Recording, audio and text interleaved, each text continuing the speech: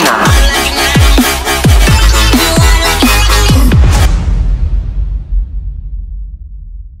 Alright, so we're gonna be doing dubstep, but knowing me, this could probably turn out to be some completely different genre because my mind is literally bipolar. We're gonna start this off with the intention of keeping this dubstep.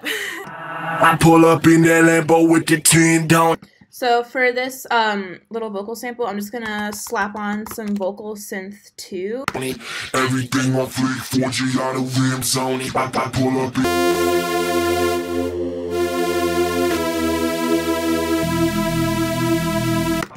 I pull up in that Lambo with the tin it. Every, I pull up in that Lambo with the tin it. Every, So um, this is why I love using Ableton because it's so fast. I pull up in that Lambo with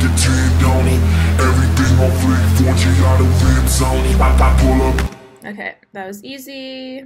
Use uh, Command A and then Command U. I like to use the portamento. Everything on fleek, 4G out of rims on it. I, I pull up. Also, I'm in 10, so if you hit A, um, it shows automation and then takes it off. So that's a, just an easy um, thing to know. And then I'm just going to automate the filter cutoff.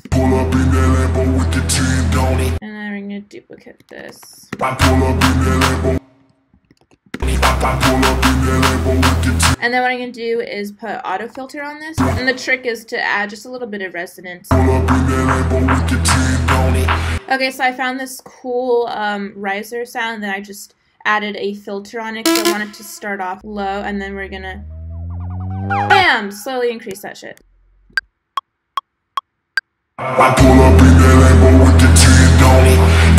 Automate this whole. pull up in that Lambo with the tin down it. Fleek, 4G out of rims on it.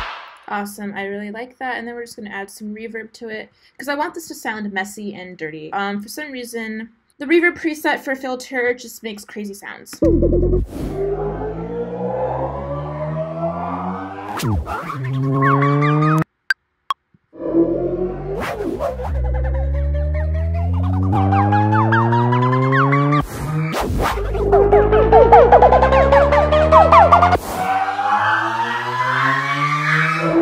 Okay, so I like that.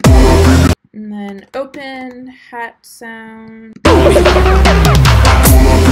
Okay, and I found this cool drum roll sound. Sometimes instead of just increasing the volume with like saturation or whatever, just using the one that's like built into the sample itself is better. Okay, we're just gonna hold the shift key down, duplicate these bitches. What I'm gonna do is sidechain um, this serum sound, which was that like deeper Reese uh, bass sound. So we're just gonna slap on a compressor on here, and then uh, I like to increase the ratio, side chain, and then this is when you rename this kick. Um, input kick.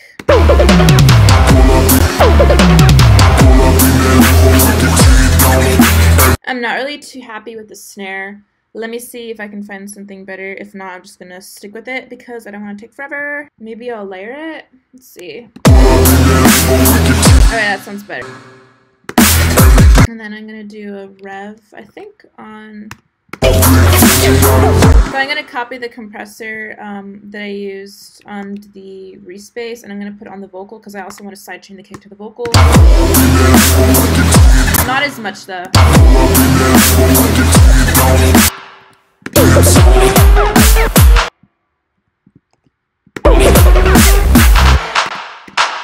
Okay, so I like this build.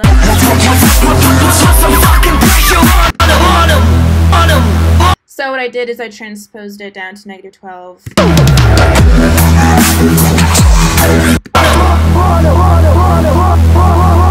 And then we're going to turn the pitch up.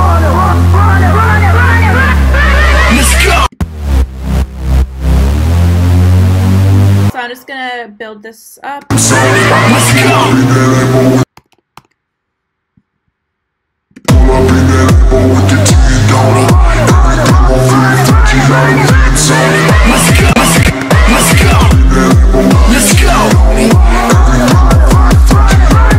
These have to be smaller.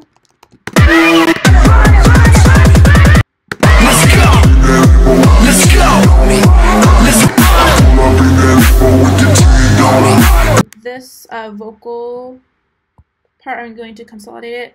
And then we're going to also pitch this up.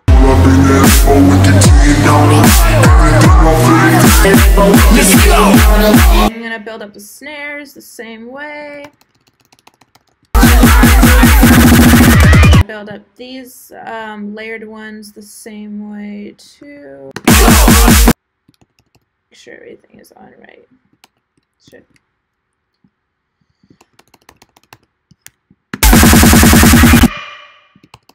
Okay. Let's go. Let's go.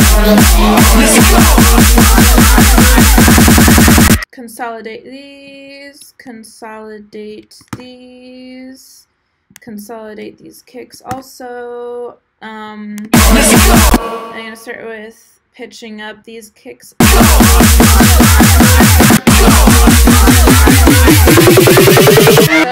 Compressor, I'm gonna put that on the riser as well.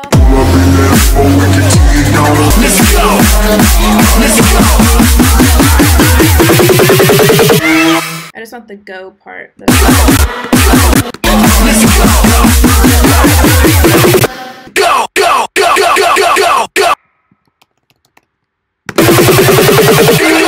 Consolidate this, also pitch it up. So I'm pitching that up to 24 semitones. Put your, put your hands to the roof.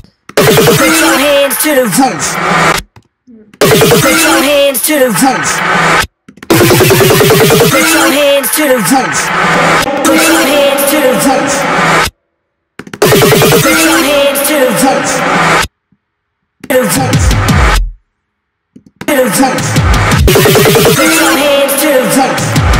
And then on this um, drum fill, I'm also going to put auto filter on it, but this time we're going to do a high pass. to the roof.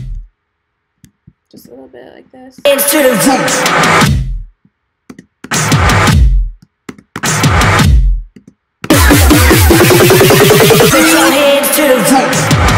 We finished our intro build up, um, that crazy little drop thing, and now we're gonna do like the main part of the song.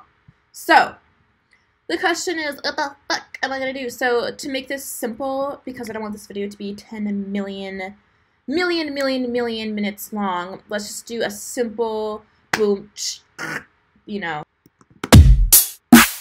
We're gonna make our own growls and sounds today.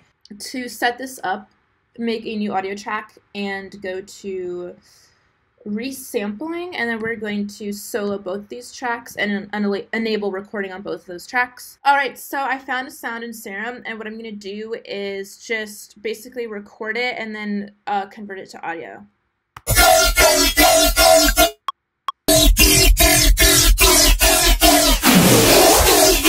And literally you just drag this over, it's the easiest thing.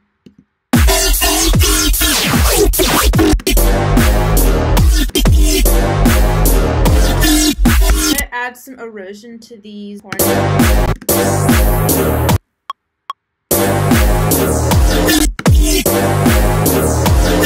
And then what I'm going to do is on the sub on that one part, we're going to add um, erosion,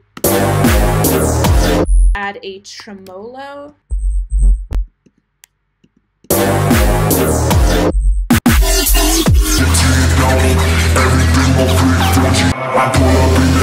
So I think to make this different, what I'm going to do is maybe instead of having this Reese bass, I keep the traditional riddim like wobble. This time what I'll do is I'll lower the LFO rate.